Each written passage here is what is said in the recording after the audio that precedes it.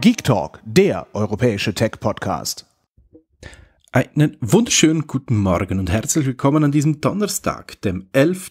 April 2019. Ihr hört die Geek Talk Daily 599 und heute habe ich die folgenden Themen für euch. Oppo 5G, Sprachsteuerung, Galaxy A und tvOS 12.1. Und ich beginne gleich mit einem ja, wieder mal was, was in der Schweiz startet oder so ziemlich, ähm, bei 5G bin ich nicht ganz sicher, aber ziemlich weit nach vorne ist.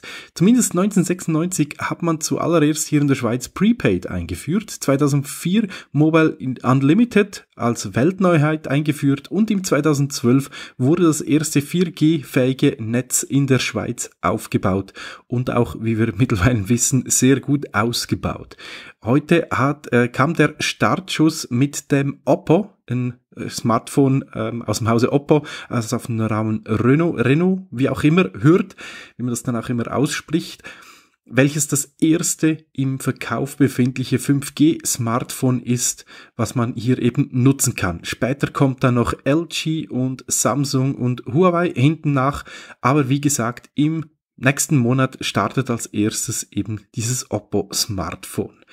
Was daran sehr speziell ist, ist, dass es ein, ja, eine ausklappbare oder eine ausfahrbare Selfie-Kamera hat, so mit einem Riesenscreen ohne irgendwelche Notch und sonstige Geschichten und eben es ist 5G-fähig. Wenn man bei der Swisscom zum Beispiel, jetzt in diesem Beispiel, noch 10 Franken obendrauf wird, hat man theoretisch bis zu 2 Gigabit in der Sekunde, auf die man zurückgreifen kann.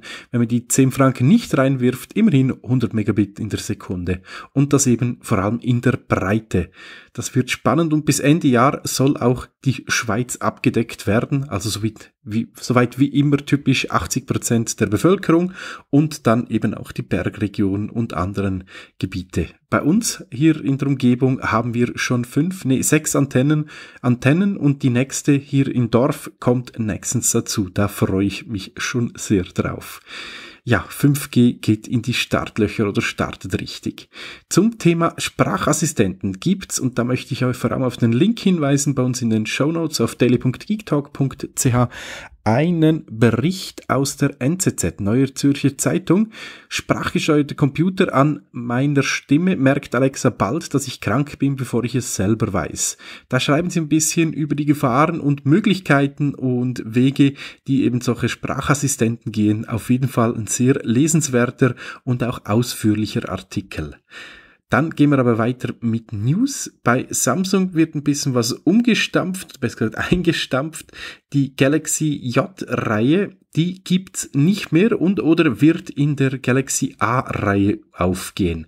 Das heißt, die ähm, ja, eher günstigeren Smartphones aus dem Hause ähm, Samsung werden in Zukunft unter der A-Schiene laufen und da kann man sich so ein bisschen, ähm, wie soll ich sagen, ähm, daran orientieren. Das Galaxy A8 zum Beispiel, das ist über 500 Euro, kommt in diesem Jahr raus. Das 7er ist dann unter 500 Euro um 2020 und so weiter. Da gibt's dann so Abstufungen, wo das Ganze dann preislich immer weiter nach unten geht und dennoch immer noch solide Hardware. Wenn man die ähm, Galaxy A-Reihe anschaut, welche Samsung Samsung am Mobile World Kongress vorgestellt hat, sind das wirklich solide Geräte für einen tollen Preis mit einem schön gestalteten, und das sage ich mittlerweile, ähm, ähm, Android drauf, was man sich mal anschauen muss, wenn man nicht unbedingt zum Flaggschiff greifen möchte.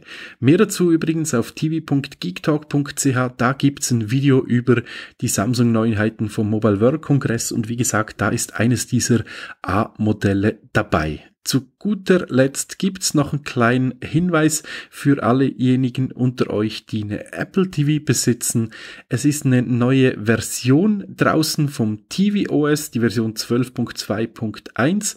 Besitzer einer Apple TV 4 und 5 sollten sich das runterladen, sofern sie es nicht eh aktiviert haben, dass das automatisch passiert. Da sind vor allem kleinere Geschichten mit drin und äh, Security Bugfixes, somit unbedingt installieren, wenn ihr, wie gesagt, so eine Büchse besitzt. Büchse, so ein Media Center besitzt. Das war's dann auch mit den Neuigkeiten, die ich heute für euch bereit hatte. Ich hoffe, ihr habt das mitnehmen können und ja, euch noch einen erfolgreichen Tag. Ich würde mich freuen, wenn wir uns morgen am Donnerstag wieder hören und oder besser gesagt, ihr mich hören mögt. Und ja, Bis dann, euer Poughkeepsie. Tschüss. Hört mehr Geek Talk.